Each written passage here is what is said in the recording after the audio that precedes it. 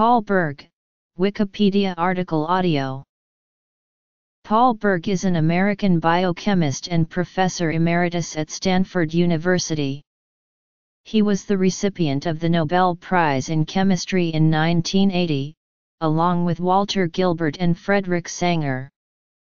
The award recognized their contributions to basic research involving nucleic acids.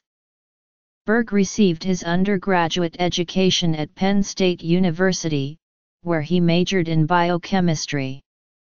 He received his PhD in biochemistry from Case Western Reserve University in 1952. Berg worked as a professor at Washington University School of Medicine and Stanford University School of Medicine, in addition to serving as the director of the Beckman Center for Molecular and Genetic Medicine. In addition to the Nobel Prize, Berg was presented with the National Medal of Science in 1983 and the National Library of Medicine Medal in 1986. Berg is a member of the Board of Sponsors for the Bulletin of the Atomic Scientists. Early Life and Education Research and Career Academic Posts Research Interests Awards and Honors. Nobel Prize. Other awards and honors. Berg was born in Brooklyn, New York, the son of Sarah Brodsky, a homemaker, and Harry Berg, a clothing manufacturer. Berg graduated from Abraham Lincoln High School in 1943, received his Bachelor of Science degree in biochemistry from Penn State University in 1948 and PhD in biochemistry from Case Western Reserve University in 1952. He is a member of the Beta Sigma Rho fraternity. After completing his graduate studies, Berg spent two years as a postdoctoral fellow with the American Cancer Society, working at the Institute of Cytophysiology in Copenhagen, Denmark, and the Washington University School of Medicine, and spent additional time in 1954 as a scholar in cancer research with the Department of Microbiology at the Washington University School of Medicine. He worked with Arthur Kornberg, while at Washington University. Berg was also tenured as a research fellow at Clare Hall, Cambridge.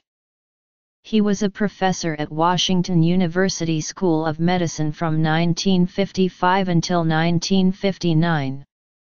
After 1959, Berg moved to Stanford University, where he taught biochemistry from 1959 until 2000 and served as director of the Beckman Center for Molecular and Genetic Medicine from 1985 until 2000.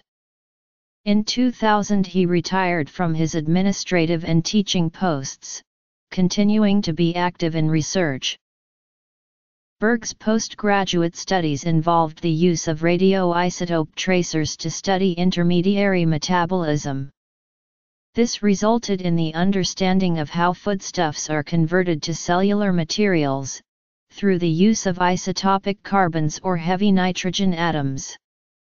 Paul Berg's doctorate paper is now known as the conversion of formic acid, formaldehyde, and methanol to fully reduced states of methyl groups in methionine. He was also one of the first to demonstrate that folic acid and B12 cofactors had roles in the processes mentioned.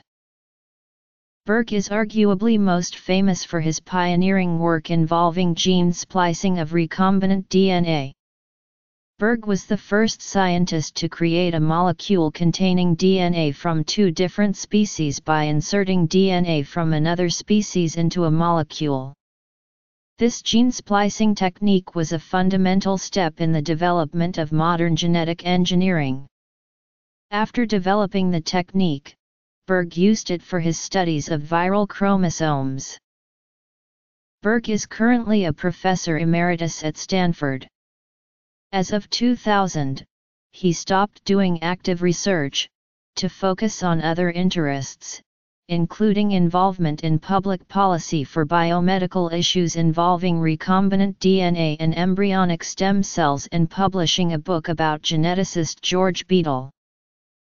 Berg is a member of the board of sponsors of the Bulletin of the Atomic Scientists.